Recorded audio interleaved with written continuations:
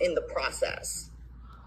Okay. So, um, because I mean, it makes perfect sense. I don't. I think Ty was very frightened and and confused because it's not like him to make such an Sure. error. Um, Yeah. it- it- and I think he thought because he posted online that he was self surrendering and did all these Yeah. interviews that people knew. Yeah.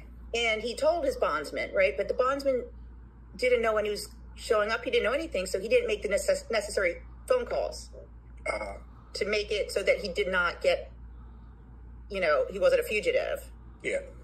I mean, he's technically a fugitive because there was no bond anymore, but that if he Yeah. left for the airport, they wouldn't come after him. Yeah.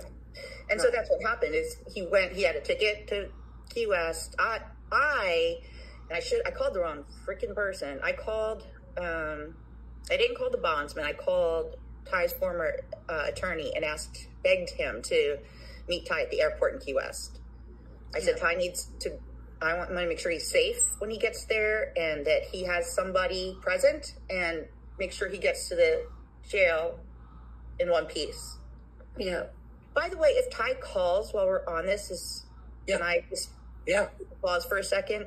If Ty calls, Of course. Oh, yeah. Okay, just if that's okay. Um, Of course.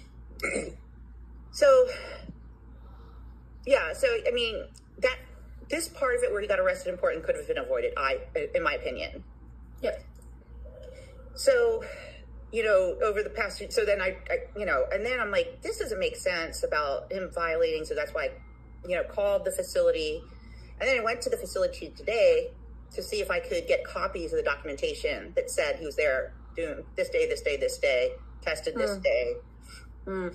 Um, HIPAA um, was the excuse they gave me for not being able to release those notes. But I'm Yeah. going to talk to a supervisor to see because I think I think he probably could fight this, given Yeah. that.